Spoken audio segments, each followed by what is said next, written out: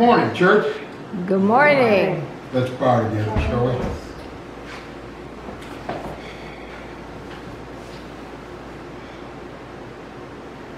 Father, we're grateful for the fact that you have allowed us and availed us of the opportunity to gather the church in the church house.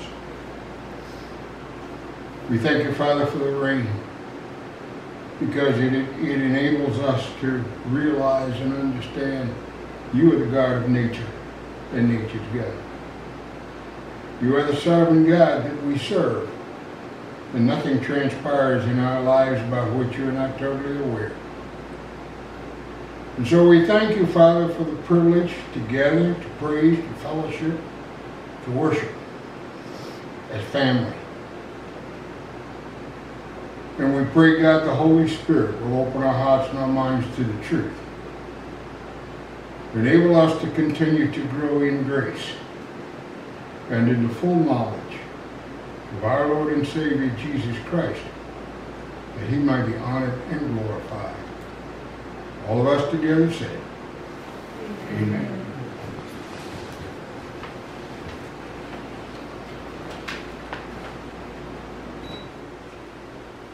Are you tickling the ivory this morning? Well, I will attempt.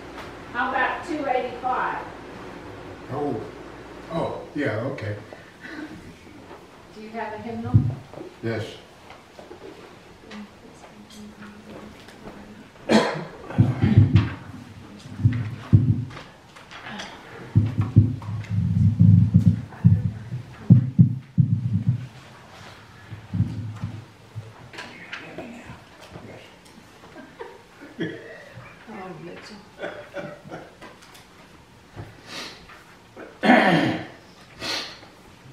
Missed Friday. Thank you for being here this morning.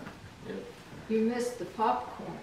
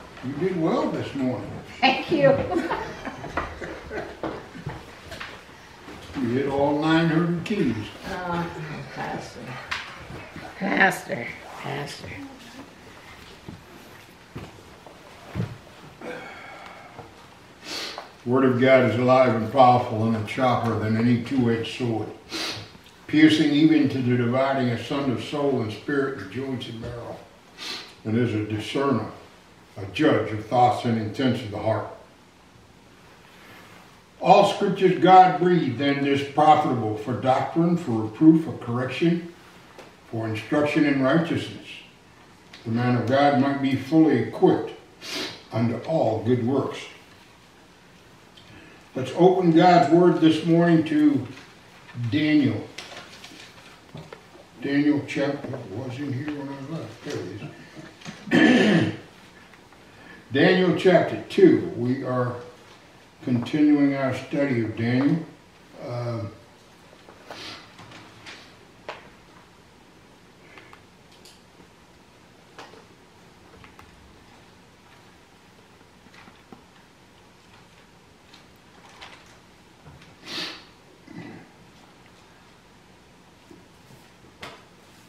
We are in the second chapter of Daniel. and I believe we stopped at uh, verse 19. Let's bow together, shall we? Father, we thank you for granting us the privilege, as we said earlier, of being here this morning. We ask as we look into your inerrant word of truth that you would open our hearts and our minds to the truth. We ask God the Holy Spirit to teach us and grant us enlightenment, that we might continue to grow in grace and in the full knowledge of our Lord and Savior Jesus Christ, that he might be honored and glorified. All of us together say, Amen. Now, we find that Nebuchadnezzar, who's the Babylonian king, has captured and brought into the kingdom uh, uh, Hebrews. Four of them he has uh, done what needs to be necessary to groom, as it were, for them to become an integral part of his kingdom. There are they are uh, Hananiah, Mishael, uh, and Azariah and Daniel. Um, Nebuchadnezzar had a dream. I think it was a recurring dream, but anyway, the dream troubled him. And he went to his uh, wise men, his conjurers, his sorcerers, uh, all of his, let's say, the brain trusts, as it were. And uh, they could not tell him. His demands were, you tell me the dream, and then tell me what it means. Uh, you have to remember the fact that at this particular time, the Babylonian Empire was the most powerful empire, authority, as it were, on the planet. And Nebuchadnezzar was, was uh, foremost in authority, humanistically. And he, he could do anything and everything that he so desired. Well, this dream troubled him.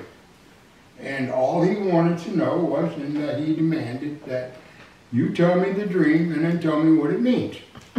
well, the brain trust, or the, the wise men, wanted to know. They could tell him the interpretation of the dream if he told them the dream. And he refused to do that. As a matter of fact, he, he said to them point blank, if you don't tell me the dream and what it means, I will literally uh, your history. And uh, uh, he will. He's already advised them of the fact that they will be eliminated totally, uh, and their families will be eliminated, and the households will come uh, will become uh, uh, waste heaps. well, uh, they could could no longer deny the fact that they could neither tell him the dream nor interpret it. So his response was, "Get rid of all the wise men, take them out." Well got down to the point that uh, Daniel and Azariah, Mishael, and uh, Hananiah uh, had been advised of the fact that, that uh, they were about to be eliminated. Well,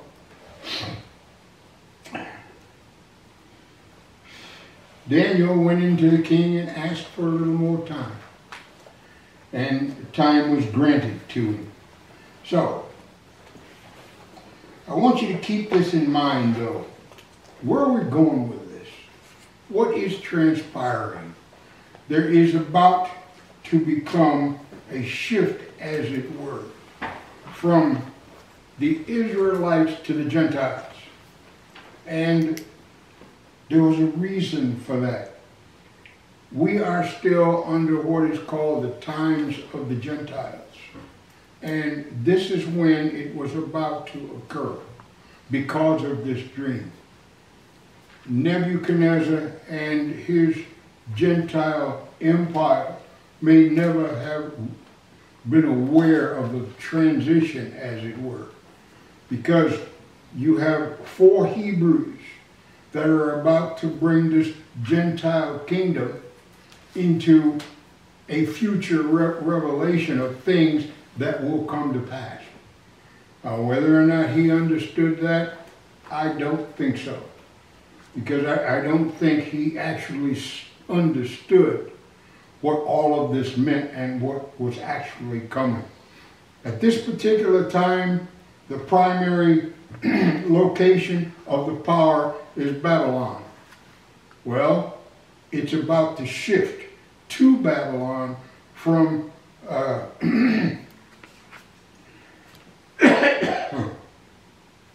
Jerusalem. It's going to shift.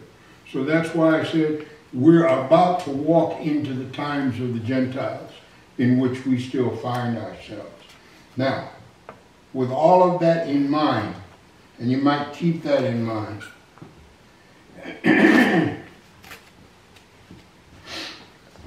let's look at, uh, let's start with verse 18 and see how far we can go. Verse 18 in order that they might uh, request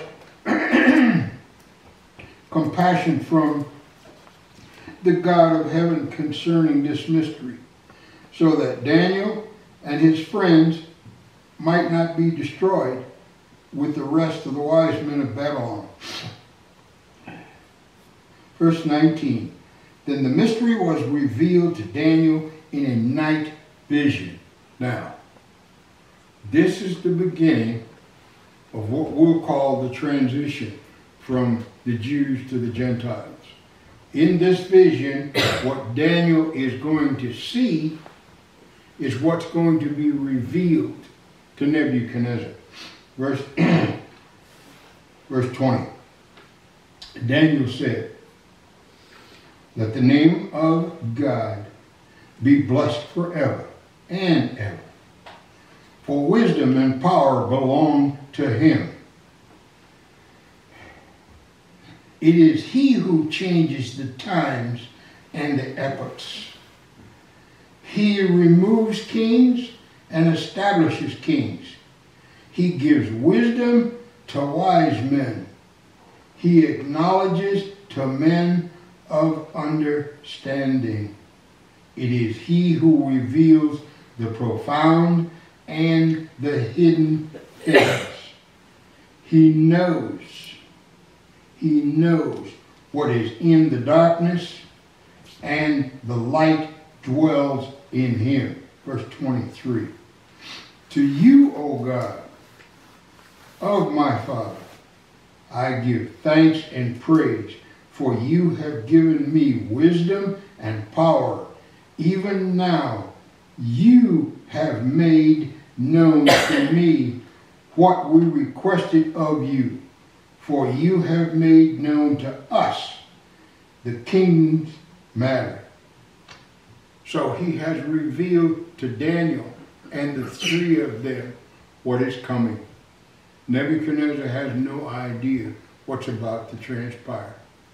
The only thing that he knows for sure is that he has a dream. He had a dream and it troubled him. so, we go from verse 24 and beyond, as it were. The end of the chapter is verse 49. So let's see how far, where we can go from 24. Therefore, Daniel went in to Arioch. Arioch was the, the uh, captain of the guard, as it were. He was the keeper of these individuals. He was the one to who the four of them and the other captives were responsible.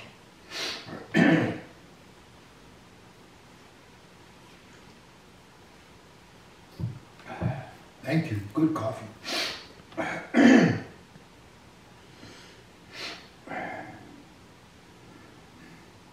Whom the king had appointed uh, to destroy the wise men of Babylon. He went and spoke to him as follows Do not destroy the wise men of Babylon. Take me into the king's presence, and I will declare the interpretation to the king. Verse 25. Then Arioch hurriedly brought Daniel into the king's presence and spoke to him as follows I have found a man among the exiles from Judah. Isn't that nice? Arioch found it. Thank you, Arioch. Anyway, who can make the interpretation known to the king?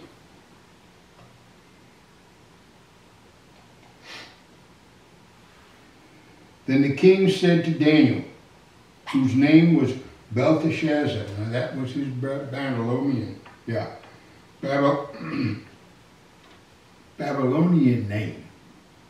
But Daniel very seldom went by this Babylonian name. He remained steadfast to, to his name, Daniel. Are you able to make known to me the dream which I have uh, seen and its interpretation? Verse 27 Daniel answered before the king and said, As for the mystery about which the king has in, uh, inquired, neither wise men, conjurers, magicians, nor divinators are able to declare it to the king. However, there is a God in heaven who reveals mysteries, and he has made known to the king what will take place in the latter days. This was your dream and the visions in your mind while on your bed. So Nebuchadnezzar was about to be advised of future things.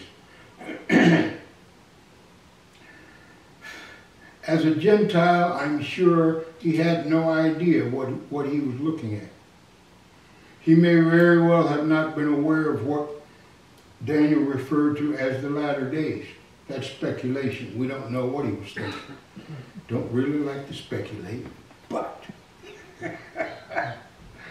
so, um, but I really want you to understand this situation. And uh, that's what it is right now. So we look at verse 29. As for you, O king, while you were uh, your bed, your thoughts turn to what would take place when? In the future. In the future. Okay? Now, and he who reveals mysteries has made known to you what will take place.